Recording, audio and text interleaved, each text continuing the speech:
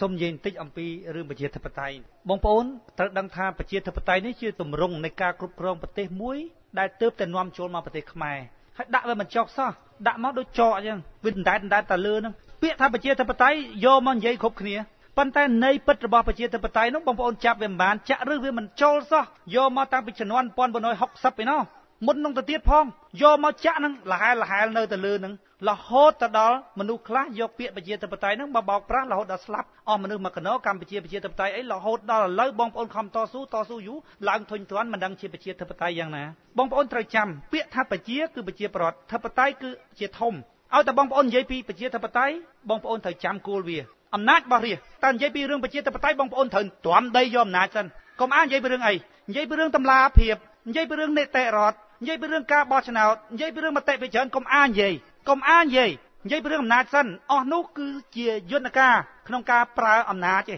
ដំបងដៃបងប្អូនសួរថាឲ្យអំណាចខ្ញុំអត់បើនិយាយពីប្រជាធិបតេយ្យគឺចាប់គោលវាចំពីព្រោះមិនមែនតែប្រទេសយើងទេសូម្បីតែសហរដ្ឋអាមេរិកកាលនោះក៏ច្បោកច្បល់ដែរអាប់រ៉ាហាំលីងកិនប្រធានាធិបតីអាមេរិកកាលជំនាន់នោះគាត់វេទនាពីពួកមនុស្សវាមិនភ័ន្តអ្នកមានសាលារៀនបានប្រជាធិបតេយ្យអ្នកឲ្យខ្ញុំមានសិទ្ធិនិយាយបានប្រជាធិបតេយ្យអ្នកដោះស្រាយឲ្យស្មើភាពគ្នាបានប្រជាធិបតេយ្យ អ្នកសង្គមប្រជាធិបតេយ្យគេមិនមែនដដើមគ្នារស់ទេគេចែកគ្នារស់ចេះតែទៅឲ្យវល់ទាំងអស់បែកក្បងនៅនឹងតែចែកគ្នាមួយថ្ងៃទៅល្ងាចទៅមុខអត់រួចអញ្ចឹងបងប្អូនត្រូវដឹងអាប់រ៉ាហាំលីងកិនគាត់ពិបាកពេកគាត់សង្ខេបការចេញពីរាជរបស់រាជដើម្បីរាជប៉ុណ្ណឹងហើយសង្ខេបយ៉ាងខ្លីប៉ុណ្ណឹងហើយយកមកនៅវិញទៀតត្រង់រឿងធ្វើទាំងស្អីស្អីទាំងអស់ដើម្បីរាជនេះវិញវិញត្រង់ហ្នឹងកើតមកពីរាជត្រូវហ่ะដល់ពេលរបស់រាជចាប់ដើមវិញបន្តិច ដល់ពេលធ្វើស្អីស្អីដើម្បីរាជវិញបន្តិចបណ្ដោយវិញកាន់តែខ្លាំងបណ្ដោយសពថ្ងៃហ្នឹងមានសង្គមស៊ីវិលច្រើនណាស់បញ្យល់ថាគណៈបពប្រឆាំងក៏បញ្យល់ដែរមកពីរដ្ឋាភិបាលមិនធ្វើស្អីស្អីដើម្បីរាជបានអត់ប្រជាធិបតេយ្យវាទៅជាអញ្ចឹងណាបងប្អូនដឹងថាហេតុអីបានធ្វើដើម្បីរាជហ៎ ហេតុអីបានសង្គមប្រជាធិបតេយ្យធ្វើដើម្បីរាជហ៎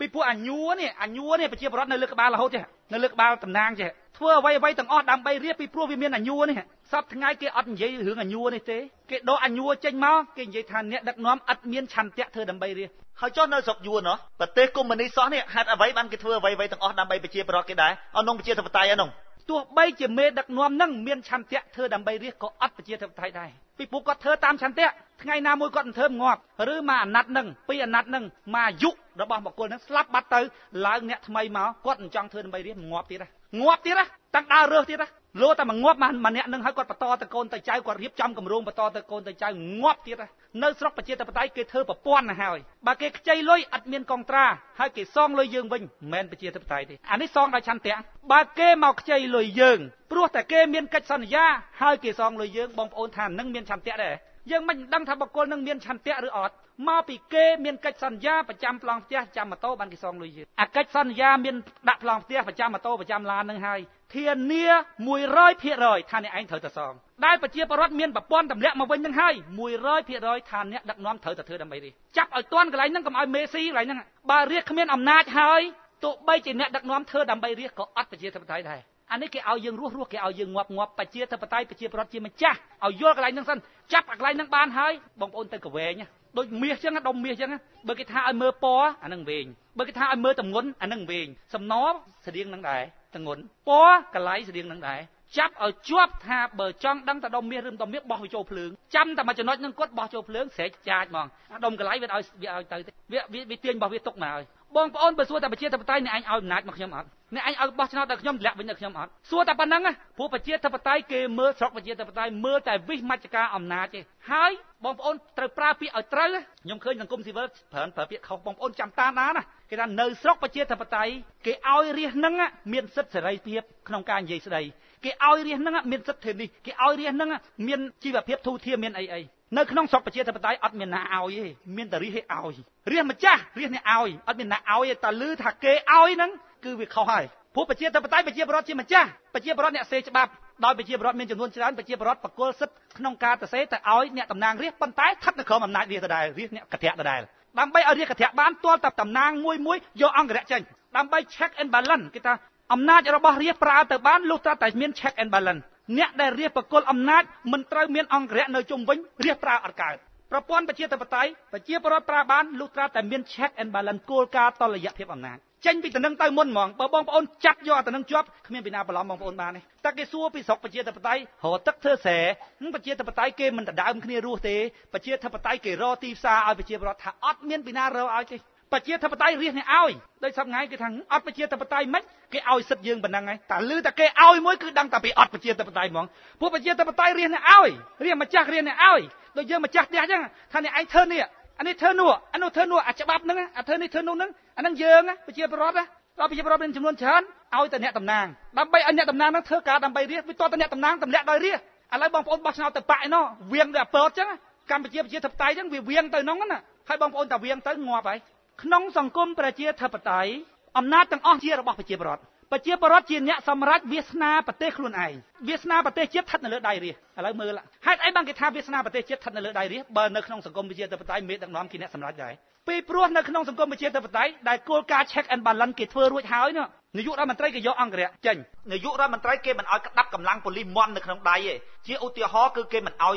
តែងតាំងឧត្តមសេនីយ៍អីដោយនាយករដ្ឋមន្ត្រីទេបើមិនអញ្ចឹងទេគឺអំណាចនាយករដ្ឋមន្ត្រីនឹងក្តាប់ណែននៅក្នុងដៃយន្តការនឹងជាយន្តការបាត់ check and balance នឹងគឺអំណាចប្រមូលផ្ដុំហ่ะប៉ុន្តែទ័ពក៏កាត់បានទ័ពព្រោះគាត់វាយក្រៅប្រទេសព្រោះទ័ពវាយក្រៅប្រទេសមិនមែនវាយរៀសខ្លួនឯងអញ្ចឹងទៅទៅក្រៅប្រទេសដូចប៊ូសអញ្ចឹងគាត់កាន់ទ័ពតែប៉ូលីសអត់ទេ ប៉ូលីសអត់ទេប៉ូលីសគឺប្រជាពលរដ្ឋគាត់អ្នកឲ្យអ្នកនេះអ្នកនោះកាន់ប្រជាពលរដ្ឋគឺសភាហ្នឹងណានាយករដ្ឋមន្ត្រីគាត់អត់ត្រូវកាន់ទេគាត់កាន់តែគណៈរដ្ឋមន្ត្រីរបស់គាត់ចវាយក្រុងត្រូវឲ្យប្រជាពលរដ្ឋអ្នកចាត់ទៀតចវាយខេត្តត្រូវឲ្យប្រជាពលរដ្ឋអ្នកចាត់ទៀតរួចទម្លាក់បងប្អូនត្រូវចាំរាជម្ចាស់គ្មានអ្នកណាមួយហ៊ានដករបស់ម្ចាស់ទេត្រូវឲ្យចាំយើងតែឲ្យអ្នកណាមួយកាន់ការងារហើយអត់មានអ្នកណាមួយហ៊ានមកដករបស់យើងទេមានតែយើងទេបងប្អូនទៅដើរឆែកលើពិភពលោកលើពិភពលោកឲ្យតែស្រុកប្រជាធិបតេយ្យគឺស្រុកដែលរាជជាម្ចាស់ អ្នកដែលរាជចាត់តាំងគឺបោះឆ្នោតហ្នឹងណាជ្រើសតាំងគ្នាច្រើនគេហៅជ្រើសតាំងពាក្យចាត់តាំងទៅជាជ្រើសតាំងឲ្យតែរាជជ្រើសតាំងគ្មានអ្នកណាមានសិទ្ធិជាងម្ចាស់ដកទេគ្មានទេបើម្ចាស់អត់ដកគឺដាច់ខាតមិនដែលដកទេលើកលែងតែគាត់ធ្វើខុសច្បាប់គេចាប់ដោយច្បាប់ព្រំមិនទាន់ច្បាប់អីក្រៅពីនឹងបើខុសចិត្តមេបកខុសចិត្តអីគ្មានដាច់ខាតរបស់រាជណារាជម្ចាស់ណារាជឲ្យទៅណារឿងអីទៅដករបស់រាជអត់បានដាច់ខាតហ្មងបើបងប្អូនរៀបចំប្រព័ន្ធនឹងមិនបានទេកុំទៅរទឹកធ្វើស្រែ កុំទៅរការងារធ្វើកុំទៅរអន្តោប្រវេសន៍មិនចេញពីក្រៅស្រុកទេកុំទៅររមិនកើតទេបងប្អូនដឹងអំណាចប្រមូលផ្ដុំនេះគ្រោះថ្នាក់សម្រាប់ប្រទេសយើងប្រជាធិបតេយ្យមិនមែនមានអត្តន័យត្រឹមតែអំណាចរបស់រាជទេវាជ្រៅជាងនឹងគឺរំដោះប្រទេសយើងចេញពីកញ្ញាំដៃបរទេសជ្រៅណាបងប្អូនបងប្អូនណាខ្មែរយើងមិនឈ្នះតណ្ហាខ្លួនឯងទេមិនឈ្នះតណ្ហាអំណាចសឹងទាំងអស់គ្នាពេលណាយើងប្រមូលផ្ដុំការសម្រាប់ឲ្យដៃបកគលម្នាក់បរទេសមក ដបងដៃផុតលុយលុយលុយលុយលុយលុយទី2ណាច់ណាច់ណាច់ណាច់ណាច់ទី3ស្រីស្រីស្រីស្រីស្រីអំណាចលុយមិនត្រូវទេកភ្លើងកភ្លើងភ្ជុងពួកអីពួកអំណាចនៅលើដៃមនុស្សម្នាក់ហើយគេដើរតាមនឹងអ្នកហ្នឹងដូចក្នុងផ្ទះមួយអញ្ចឹងមកផ្ទះហ្នឹងប្រមូលលុយទៅឲ្យឪយើងមួយហើយចោលវាមិនបាច់ដើរតាមកូនចៅទៅអីវាដើរតាមទៅឪពួកប្លន់ប្លន់ឪហ្នឹងហើយពួកសម្រាប់វាសនាប្រទេសជាតិនៅក្នុងហើយអញ្ចឹងទៅទៅក្នុងអានឹងហើយគេថារបបផ្ដាច់ការកិច្ចការប្រទេសទាំងមូលយកទៅឲ្យគេអ្នកសម្រាប់ ហើយអ្នកគេបញ្យល់គេថាចុះអ្នកឯងឲ្យខ្ញុំការពីបោះឆ្នោតនោះថាអត់ទេបងប្អូនត្រូវចាំពាក្យថាម្ចាស់នេះគឺនៅជានិច្ចកាលពេលណាមាន check and balance អំណាចវាអត់ប្រមូលផ្ដុំគេបបែកចវាយខេតបោះទៅរាទម្លាក់វិញទៅរាដើម្បីទម្លាក់បានគេធ្វើយន្តការណាកុំឲ្យគេប្រឡប់យើងបានណាពួកនឹងពងឲ្យប្រឡប់រាល់ថ្ងៃប្រឡប់ថាអញ្ចឹងស្អែកឡើងទម្លាក់ខាន់ស្អែកឡើងទម្លាក់2 3ថ្ងៃទម្លាក់ទម្លាក់ទម្លាក់ប្រជាពលរដ្ឋ2 3នាក់ទម្លាក់ក៏បានអត់ទេបងប្អូនកុំឲ្យគេប្រឡប់ ទម្លាក់បានលុះតែ50% 50%បូក1នៅស្រុកប្រជាធិបតេយ្យគេបោះឆ្នោតប្រជាមតិមុននឹងបោះឆ្នោតមុននឹងទម្លាក់វិញដូចចវាយខេតមាននេះច្រើនណាប្រជាពលរដ្ឋនេះច្រើនណាមុននឹងរៀបចំទម្លាក់គេធ្វើយន្តការបាតកម្មបាតកម្មជារោគសញ្ញាដែលរាជមិនសុខចិត្តរាជម្ចាស់ប្រទេសមិនសុខចិត្តទេចំពោះតំណាងខេត្តហ្នឹងដើម្បីឲ្យបាតកម្មបានគេធ្វើយន្តការអង្គរៈរបស់ស្វ័យខេត្តត្រូវយកចេញអ្នកឯងធ្វើអត់ហេអត់ធ្វើទេខ្ញុំខ្លាចងាប់ខ្ញុំមិនធ្វើមិនធ្វើរកអ្នកផ្សេងអ្នកផ្សេងគេឈរអ្នកឯងមិនឈរទៅអ្នកផ្សេងគេឈរអត់ការងារធ្វើផងគេចង់ធ្វើ ថយចេញបើអ្នកឯងមិនមកឈរច្បាប់គេអញ្ចឹងពីមុនប្រជាប្រដ្ឋគេទៅសេអញ្ចឹងពេលអ្នកតំណាងមួយមួយតំណាងឃុំតំណាងស្រុកតំណាងខេត្តហ្នឹងបោះឆ្នោតដោយរាជឲ្យគេយកអង្គរៈចេញណាគេងាយនឹងបាតកម្មយន្តការបាតកម្មចេញច្បាប់បាតកម្មតំណាងរាជឯណែដែលនៅបោះឆ្នោតដោយរាជតម្លាក់ដោយរាជដែរណែគេធ្វើច្បាប់ហ្នឹងស្រួលហ្មងសុំបាតកម្មនៅស្រុកគេដាក់ហ្មងគ្រាន់តែដាក់ជូនដំណឹងលើកលែងថ្ងៃប៉ុនថ្ងៃអីហ្នឹងកុំឲ្យវាស្ទះផ្លូវស្ទះអីលើកលែងថ្ងៃប៉ុន នៅស្រុកគេឲ្យតែដាក់សេចក្តីជូនដំណឹងរួចហើយបាតកម្មឧទាហរណ៍អញ្ចឹងមួយទៅឬមួយអ៊ំមកតែខេត្តព្រៃវែងនៅក្នុងស្រុកណាស្រុកកំពង់លាវអញ្ចឹងដើម្បី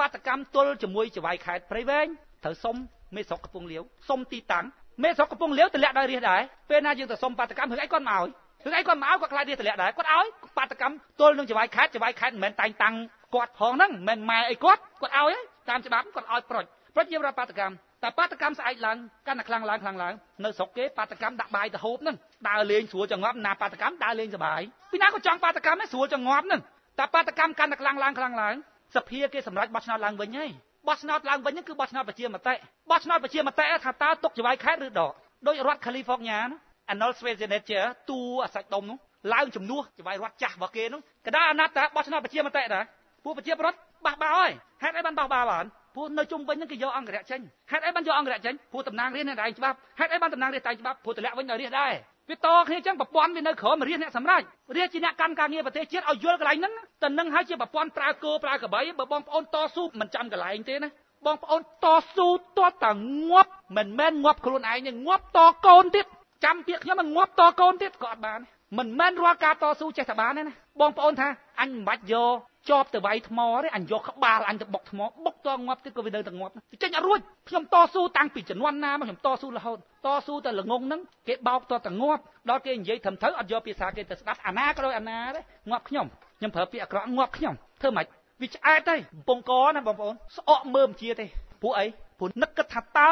ជំរះ ការគិតរបស់ប្រជាពលរដ្ឋយ៉ាងម៉េចបើគាត់ខ្លាចគេតែទាំងអស់ហើយគាត់ភ័យតែទាំងអស់ភ័យទាំងយើងទៀតតើឲ្យខ្ញុំធ្វើម៉េចហើយសួរថាដល់ពេលធ្វើអញ្ចឹងមានប្រយោជន៍ពីណាមានប្រយោជន៍ទាំងអស់គ្នាពេលណាបែកទាំងអស់បងប្អូនត្រូវចាំតាស្រុកប្រជាធិបតេយ្យគេមិនដែលឲ្យមនុស្សម្នាក់សម្រាប់ការងារប្រទេសជាតិទេនាយករដ្ឋមន្ត្រីធ្វើការងារខ្លះទៅតំណាងរាជគេសរសេរឲ្យណានាយករដ្ឋមន្ត្រីធ្វើការងារខ្លះទៅក្រសួងប៉ូលីសទាហានអីអីចឹងប្រមាណចឹងទៅប្រមាណក្រសួងចឹងទៅណាជាពិសេសគឺគណៈរដ្ឋមន្ត្រីហើយយកទៅច្បាយខេតទុកឲ្យរាជវិញ ច្បាយស្រុកទុកឲ្យរាជវិញមេឃុំទុកឲ្យរាជវិញពេលមេឃុំហ្នឹងបោះឆ្នោតដែររាជតម្លាក់ដែររាជនាយករដ្ឋមន្ត្រីលូកដៃមករកមេឃុំចាំតែឲ្យមេឃុំគាត់ឈ្មោះចាំតែគាត់តាមេឃុំតម្លាក់ដែររាជគាត់មិនគាត់ទេហើយសប្ថ្ងៃហ្នឹងហេតុអីបានគេមិនលែងសោះគេមិនលែងសោះមេឃុំមេអីហ្នឹងពីព្រោះអីខាងលើហ្នឹងប្រយោជន៍របស់គេគេរកស៊ីមានបានលុយរាប់លានដុល្លារហ្នឹងដោយសាររឿងហ្នឹងបានគេមិនលែងសោះហ្នឹងគេប្រយោជន៍គេហ្នឹងគុំថាប្រាក់ខែ700ប្រាក់ខែរដ្ឋមន្ត្រី700ណាកុំថាប្រាក់ខែ700ដូចខ្ញុំនិយាយខាងដើមអញ្ចឹងមួយខែឲ្យគេវិញ20000ណាក៏គេសុកចិត្តធ្វើដែរ ឲ្យយល់កន្លែងហ្នឹងហេតុអីបានគេមិនលែងមេឃុំឲ្យបោះឆ្នោតដល់យើងគេមិនលែងទេពីព្រោះផលប្រយោជន៍របស់គេព្រឹកឡើងគេមកចែកអំណោយព្រឹកឡើងយើងទៅស្ទូងហ្នឹងរកស៊ីរបស់យើងអ្នកណារត់ម៉ូតូដប់ព្រឹកឡើងទៅរត់ម៉ូតូដប់ព្រឹកឡើងគេមកចែកអំណោយហ្នឹងលបរកស៊ីគេមិនក៏បែងចែកគុណនឹងទោសមិនបានអញ្ចឹងដូចយើងនិយាយឡើងឧបមាថាបោះឆ្នោតរឹកអ្នកដឹកនាំប្រទេសជាតិហីគាត់7មករាគាត់ជួយខ្ញុំគុណសម្បត្តិគឺគុណសម្បត្តិណាបងប្អូនគុណសម្បត្តិគឺគុណសម្បត្តិណាគំរូនៃការគិតគុណសម្បត្តិនៃអ្នកដឹកនាំប្រទេសត្រូវរាប់ នៅក្នុងនឹងវាអត់មានរឿងគុណនឹងស្រីយើងអត់បាត់ទេសែទេអារឿងដែលគាត់មានគុណលើយើងគុណគឺគុណទុកម្ដងធ្វើផ្ទះឲ្យគាត់នៅប្រាប់តំណាងរាស្ត្ររបស់យើងពេលជាប់ឆ្នោតទៅធ្វើផ្ទះឲ្យគាត់នៅពីព្រោះគាត់ជាមនុស្សដែលមានគុណសម្រាប់ប្រទេសយើងចាំគាត់តកូនតចៅប៉ាន់រឿងដឹកនាំប្រទេសរើសអ្នកដឹកនាំដែលមានសមត្ថភាពហីលោកនាយករដ្ឋមន្ត្រីគាត់មានសមត្ថភាពដែរតាអើបើមានសមត្ថភាពនិយាយពីរឿងសមត្ថភាពរបស់គាត់ទៅមិនគាត់ទៅនិយាយរឿងគុណស្រ័យអាគុណស្រ័យកុំយកមកលោកឡំជារឿងដឹកនាំប្រទេស រឿងដឹកនាំប្រទេសបុគ្គលិកលក្ខណៈជាអ្នកដែលមានទស្សនវិស័យជាអ្នកដែលមានសិលធម៌ជាអ្នកដែលមាន challenge គឺថាច្បាស់ហើយការពិតឲ្យដូច Galileo គាត់ថាផែនដីមានរឿងមូលគាត់អត់ខ្លាចទេគាត់ទៅអញ្ចឹងហ្មងមានសុចរិតភាពមានបេះដូងណែស្រឡាញ់ប្រទេសបងប្អូនបេះដូងបងប្អូនញាត់បានតែគ្រួសារ3 4នាក់ឯងបេះដូងអ្នកដឹកនាំប្រទេសតើតែគាត់ញាត់ប្រទេសមួយចូលបានណានៅស្រុកគេឧបមាថាខ្ញុំជាប់ឆ្នោតឧទាហរណ៍អញ្ចឹងខ្ញុំជាប់ឆ្នោតឡើងទៅគេបោះឆ្នោតឲ្យជាប់ស្រាប់តែមានមនុស្សដុតខ្លួន10 20នាក់បើយើងងាប់ងាប់ទៅហើយ10 20នាក់ សំបញ្ញជាញាថាខ្ញុំដឹកនាំប្រទេសខ្ញុំឡើងមកប្រុងឲ្យគេល្អឲ្យគេបានផលប្រយោជន៍ពីខ្ញុំខ្ញុំប្រុងតែស្រឡាញ់គេហើយបើមានគេសម្លាប់ខ្លួនដោយសារខ្ញុំនេះទៅជាខ្ញុំឡើងទៅវាមានបដលការឈឺចាប់ដល់គេអញ្ចឹងជាសម្បជញ្ញៈខ្ញុំចុះទៅវិញហើយនៅអត់កើតទេអៀនណាណាយើងប្រងមកដឹកនាំគេឲ្យបានល្អឲ្យបានស្រួលស្រាប់តែមានគេដុតខ្លួនហើយយើងហើយបាតកម្មឲ្យ1000នាក់ងាប់ប្រហែលងាប់ហើយងាប់ពីពួកអមតៈភាច្រើនសម្បញ្ញៈទៅណាខ្ញុំអត់ចង់និយាយនាំឲ្យខ្មែរឆ្លោះគ្នា អញ្ចឹងបានខ្ញុំនិយាយតែពីប្រព័ន្ធអ្នកណាធ្វើធ្វើទេអ្នកណាធ្វើប្រព័ន្ធហ្នឹងធ្វើទេអ្នកណាធ្វើប្រព័ន្ធឲ្យអំណាចទៅនេះខ្ញុំជួយធ្វើគណៈបកប្រជាជនក៏ដោយគណៈបកហ៊ុនប៉ៃក៏ដោយគណៈបកសំស៊ីដែរខ្ញុំអត់ចង់និយាយពីអតីតកាលព្រោះអតីតកាលមានតម្លៃត្រឹមតែបទពិសោធន៍ឧបមាថាយើងយកប្រពន្ធធ្វើស្រីខូចយើងសម្រាប់ចិត្តថាយកណាអតីតកាលចប់កុំឲ្យតែឆ្លោះគ្នាតាំងនិយាយពីរឿងអតីតកាលមកវិញបើសាររើអតីតកាលគ្រាន់តែត្រឹមឆ្លោះគ្នាទេយើងប្រើអតីតកាលមិនបានជាប្រយោជន៍ឡើយត្រូវចងចាំក5ដោយ7មករាដោយអីបាច់និយាយ ចប់អស់ហ่ะចាប់ពីថ្ងៃហ្នឹងលោកអាចធ្វើល្អបានអត់ហើយបងប្អូនត្រូវដឹងខ្មែរឆ្លោះគ្នានេះណាបរទេសសុបាយចិត្តវាមិនបាច់ធ្វើអីទេភ្លើងទិញពីវាសប្ងៃសាំងថ្លៃជាងវាសប្ងៃតាពីហ្នឹងបងប្អូនមិនបាច់ធ្វើអីទេមិនបាច់ធ្វើអីទេបងប្អូនមើលមើលមកកុងតឺន័រដឹកពីពេញទៅកំពង់សោម800ជាងកុងតឺន័រមួយខោអាវដាក់ចូលទៅដឹកទៅកំពង់សោម800ជាងថៃនៅក្បែរយើងតែ400ជាងនេះតែ400 400ដុល្លារមួយកុងតឺន័រនឹងជាក្រុមតុកលើតុកទាំងអស់ហ្នឹងយកទៅបោកលើកម្មករទាំងអស់កូនពីណាគេ កូនពីណាគេហើយហេតុអីបានទៅជាអញ្ចឹងពីព្រោះឪម៉ែពួកអស់ហ្នឹងតម្លាក់ប្រយោជន៍រួមចោលគិតតែពីប្រយោជន៍ផ្ទាល់ខ្លួន បងប្អូនត្រូវដឹងត្រីរស់បានដោយសារចំណីវាផងដោយសារទឹកវាផងបើបងប្អូនគិតតែពីចំណីទឹកពីណាគិតបរទេសនៅដីខ្មែរ ពុកអលួយរៀបអត់អំណាចរឿងរបស់ណាគេរឿងរបស់យើងទាំងអស់គ្នាអញ្ចឹងដៃម្ខាងរស់ស៊ីដៃម្ខាងជួយគ្នាបើបងប្អូនសម្លឹងមកខ្ញុំថាខ្ញុំជាអ្នកដែលរកអំណាចដូចតាគេដែរខ្ញុំបញ្យល់ឲ្យថាអំណាចរបស់រាជនេះដែលមេដឹកនាំរាជតម្លាក់បាននេះនៅស្រុកគេគេជួយលុយទៀតពីព្រោះវាមានប្រយោជន៍សម្រាប់គេមិនបានបងប្អូនយល់ច្រឡំយល់ច្រឡំថាដោយគណៈបកផ្សេងផ្សេងដល់គណៈបកផ្សេងផ្សេងគេអត់ឲ្យរាជតម្លាក់អានោះគេយកលុយមកឲ្យបងប្អូនទៀតពីព្រោះគេជាប់ទៅគេមានប្រយោជន៍ហី ពេលដែលជាប់ទៅគេលោកលោកវាសនាអត់ធ្វើទៀតឲ្យខ្ញុំធ្វើម៉េចឲ្យខ្ញុំធ្វើម៉េចឲ្យខ្ញុំធ្វើម៉េចបើបងប្អូនដើរខ្លាចពីណាបងប្អូនឲ្យលុយគេបោកឯណានោះដល់ពេលមកប៉ះមនុស្សត្រឹមត្រូវបងប្អូនខ្លាចគេបោកទៀតឲ្យខ្ញុំធ្វើម៉េចគេថាក្នុងនាមជាអ្នកបន្ទោសដ៏ល្អណាសូមបន្ទោសឲ្យប្រាប់ផ្លូវផងសូមបន្ទោសឲ្យប្រាប់ផ្លូវផងកុំធ្វើដោយគណៈបកសំស៊ីណាពីមុនមកគណៈបកប្រជាជនហៅគ្នាឯងសាសមមិត្តណាសមមិត្តស្អីស្អីស្អីស្អីថាគុំមនេះពេញទំហឹង ទីបំផុតណាគណៈបក2 3ហ្នឹងធ្វើទាល់តាគណៈបកប្រជាជនល្អជាងស្ងាយណាបកប្រជាជនល្អជាងតាមានសិលធម៌មានអីជាងតាពួកអីគាត់រស់ស៊ីបកាច់បខូចបកាច់បខូចយូរយូរយូរណាបកប្រជាជនគេអត់ធ្មត់យូរយូរយូរឃើញណាបកប្រជាជនល្អជាងឧបមាថាធ្វើខ្នល់ហ្នឹងគេធ្វើ10ម៉ែត្រមិនក៏ធ្វើ50ម៉ែត្រទៅអញ្ចឹងអន្តោប្រវេសន៍មិនក៏ដេញក្បាត់ចោលអស់ទៅហ៎តម្លើងប្រាក់ខែមិនក៏300ដុល្លារទៅអានេះចេះថាមកថាស្រួលចងប់ដល់តែថាយូរយូរទៅបោកបានតែមនុស្សកាប់មុខហ្នឹង មនុស្សអត់កាប់មុខគេស្លាប់បានគេយល់គេអត់ទៅបោះឆ្នោតឲ្យអញ្ចឹង20កៅអី30កៅអីហ្នឹងគ្រាន់ពួកនឹងរស់ទៅសម្រាប់តែពួកកាប់មុខហ្នឹង